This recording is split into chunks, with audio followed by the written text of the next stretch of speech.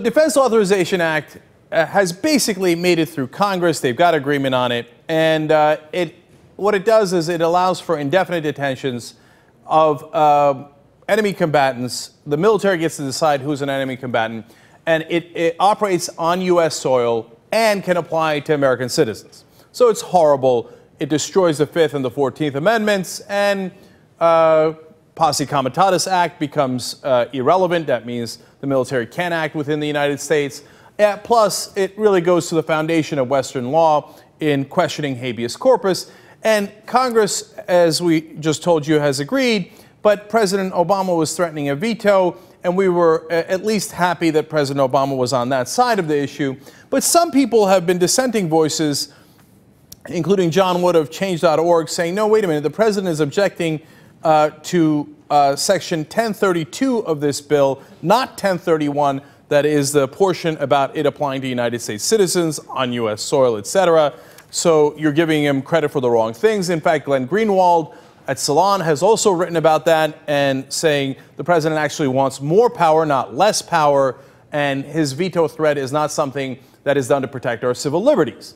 Well, uh, those were all interesting theories until Senator Carl Levin uh, went on the floor of Congress and told us, at least based on what he's saying here, if he's telling the truth, that in fact President Obama wanted it to be the exact opposite. Not that he thought it had too much power in the bill, but that the executive should have more power.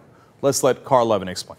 The administration asked us to remove the language which says that U.S. citizens and lawful residents would not be subject to this section. Is the senator familiar with the fact that it was the administration that asked us to remove the very language which we had in the bill which passed the committee, and that we removed it at the request of the administration that would have said the app that this determination would not apply to U.S. citizens and lawful residents.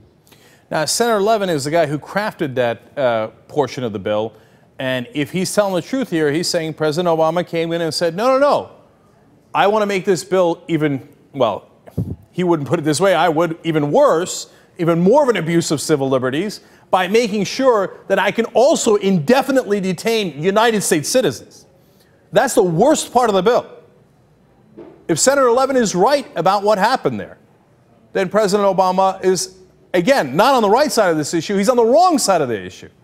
And that he wanted to do the veto threat so that he could have more power, not less power, and abuse our Constitution and our civil liberties more, not less. Well, I mean, that's so disappointing that I, I can't take it anymore. I mean, I, so what does that mean that I can't take it? I mean, you've seen me criticize President Obama over and over again. It's not that I'm shy about that. It's that if this is true, I almost literally don't see the point of supporting President Obama anymore. I, am not mincing words. I don't see the point. And somebody will have to try to figure out, you know, I guess go ahead and try to convince me, write comments, send us emails through theyoungturks.com, participate through current.com slash theyoungturks. You tell me why I'm supposed to vote for this guy. But if he really, this so-called constitutional law professor, has such little respect for our Constitution that he's willing to shred it like that, well, he's, in some ways, he's worse than a Republican. Why? Now, first of all, I think Newt Gingrich is a danger to the Republic, right? But is Newt Gingrich going to propose something worse than indefinitely detaining American citizens without a trial? I, am not sure I can think of anything worse. Is he going to propose or do something worse than kill United States citizens abroad without a trial, which is what uh, President Obama has done with drone strikes? I, I'm not sure I can imagine something worse. So, and then the really harmful part of President Obama is he totally gets, unfortunately, a large portion of the left to stand down. If President Bush put this bill forward, the left would have been in a rage, in a rage. Outside of our show, Countdown, people like Glenn Greenwald, and a couple of other shows, I see nothing. Mainstream media, of course, as, as always, is oblivious. They're like, what's Jerry Sandusky doing? I don't even know how many times they've even talked about this or even noted that there is some outrage behind it. And then where are the activists? Where's the left? Where are the Democrats?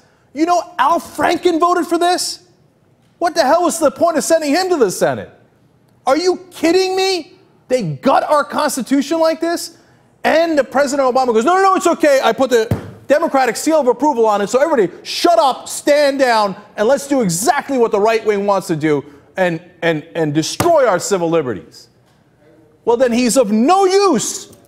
That he doesn't help the country, he hurts the country.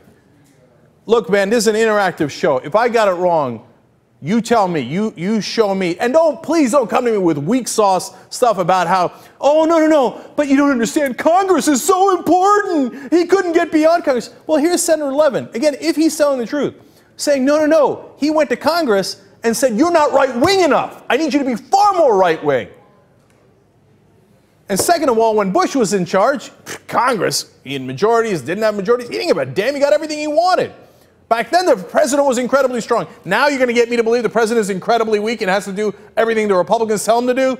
No, he wants to do it. That's what makes me particularly sick.